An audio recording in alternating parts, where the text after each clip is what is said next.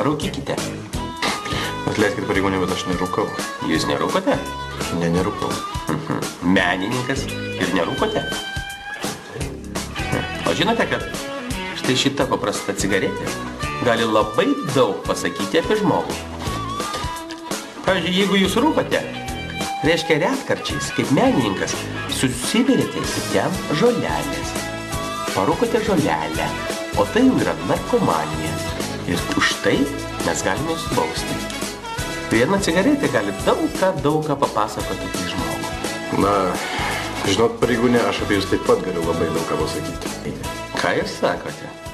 Jūs pastoviai čiulpėte savo rašiklį, o tai irgi labai daug ką reiškia. Ką jūs turite omeny?